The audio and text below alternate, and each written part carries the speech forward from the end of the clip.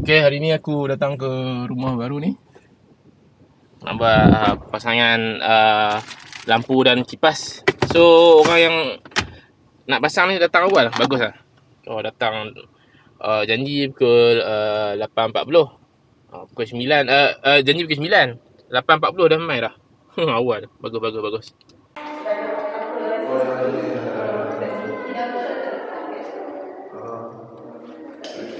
Okay.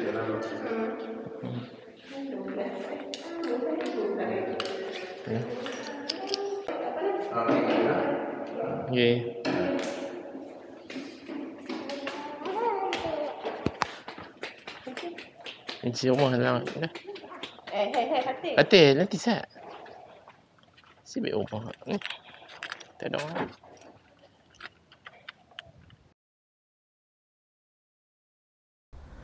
Hey ya, Assalamualaikum.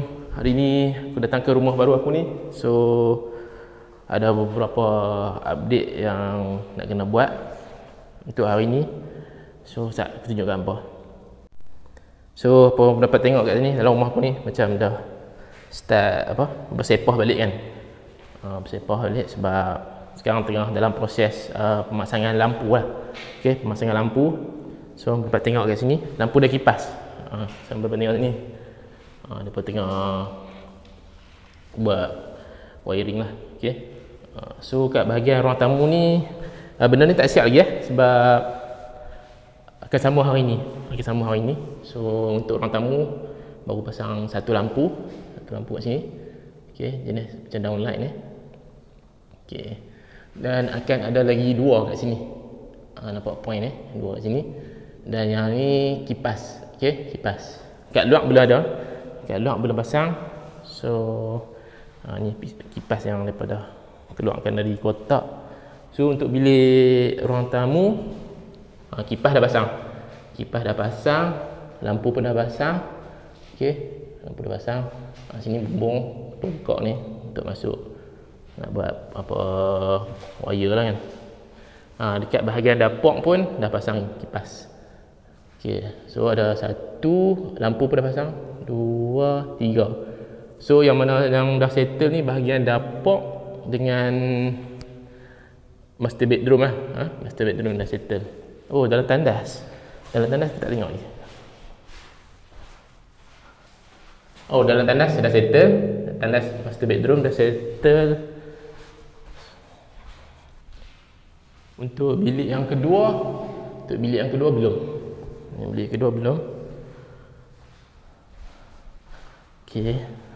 Untuk bilik studio aku nanti ah kipas dah pasang. Kipas dah pasang. Lampu belum. Okey, uh, lampu Okey, uh, cakap pasal lampu studio ni ada macam ada masalah sikit lah sebab kami tersilap beli bukan tersilap beli, kami tak tahu pun sebab bumbung ni uh, bilik studio ni dengan bumbung luar dia material yang sama material yang sama. So tak boleh pakai yang jenis macam downlight tu untuk tebuk lah. Sebab uh, dinding apa bumbung ni jenis konkrit apa kata kan macam kat luar. So kena pakai lampu yang jenis timbul tu lah kan. Tak boleh yang tanam tu. Uh, so itulah kena beli lampu lain cerita dah so ada extra lah lampu tu nanti. Uh, insyaAllah kalau kata ada jadi spare lah kan lampu tu kan. Hmm. Ok so jom kita tengok dekat bilik yang belakang. Oh bilik belakang dah pasang lampu. Ok yang dah settle. Satu uh, dua tiga. Ok tiga bahagian yang dah settle. Bilik yang uh, luar. Uh, bil, uh, dapur dengan master bedroom. Ok. Uh, dua lagi kipas ni untuk bilik studio dan juga uh, bilik kedua lah. Dan ada lagi satu kipas ya, untuk kat sini lah ya, dekat ruang tamu. Ok so sekejap lagi mereka akan datang lah. Datang sambung buat sambung buat. So mereka tengok kat sini pipe pun mereka buat lah mereka akan tarik ni. Yang ni ada apa tebuk dinding ni kan sambung ni sebab nanti kat tu nak buat washing machine Okay. Hmm. Itu je kot update untuk video kali ni. So nak story sikit lah. Okay, nak story sikit. Oh, aku nak tunjuk kat apa? Kat bilik studio tadi tu. Lupa pula. Ah, sini. Puan dapat tengok tu. Apa tebuk kat sini. Sebab kami nak tambah point. Nak tambah point. So akan ada satu plug lah kat sini. Satu plug kat sini. Uh, sebab sini aku rasa macam tak cukup. Sebab aku tak nak ada wire macam berselirat kat sini sebab nanti meja studio aku ada kat sini. Uh, so aku buat satu point lain lah. Okay, yang ni biarlah kat sini.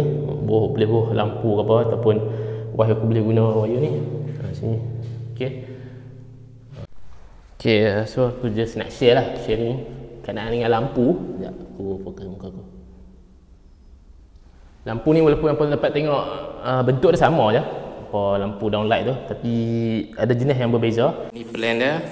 So kami dah buat ni. So depa akan refer ni lah. Bahagian mana yang kena letak lampu mana, bahagian mana yang kena letak kipas yang mana. So kami dah label dekat setiap kotak tu. So apa uh, depa akan just refer benda ni je. Dekat bahagian mana yang kena pasang kipas jenis apa dan bahagian mana yang kena pasang lampu dia tu. Okay. Semalam ada benda lawak sikit berlaku. Senang aku malas nak cerita. Uh, semalam ada benda yang lawak sikit berlaku kat kami.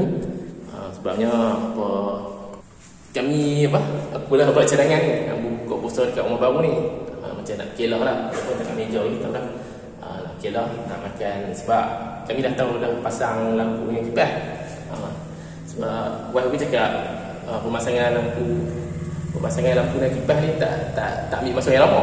Tu aku cakap tak apalah kita buka puasa kat rumah baru lah macam tu lah. Saja ambil feeling-feeling kan. PPP dalam keadaan yang sepah macam ni kan. Oh rupanya dia tak siap lagi. Dia tak siap lagi. So memang logik lah kan makan masa sebab ada benda yang kalau tepuk dinding kan. So dengan apa kotak-kotak wire ni terbuka ni ha, memang memang tak ada elektrik lagi lah. Elektrik dah tapi tak boleh nak buka lah sebab mereka masih duk duk hang wire kan. Um, so cerita dia. Tak jadilah buka kat sini. So kami pergi dataran lah. Dataran Masjid Zahir. So buka kat situ lah. Ok puasa sampai sini je video aku. Untuk kali ni lagi dalam pukul 9 uh, orang nak pasang main, main sini. So aku nak balik lah. Aku datang sebab nak buka kunci je kunci ni sebab lagi dia pun sambung buat. Ok kalau suka video macam ni lagi uh, tinggalkan komen ok like dan juga subscribe ok bye bye assalamualaikum aku akan update lagi lah. Apa-apa update baru ok bye bye Hmm, lampu pawasan dekat rumah jiran kami ni selang bawah-bawah tu. Nampak dia punya lampu lock tu. Ha, ada jenis timbul macam tu. Ha, so yang tu lah. Material bumbung yang kat luar ni sama dengan studio kat belakang tu. Jadi kena beli lampu jenis macam ni lah yang nampak macam tu. Ha, macam ni lampu bumbung ni ok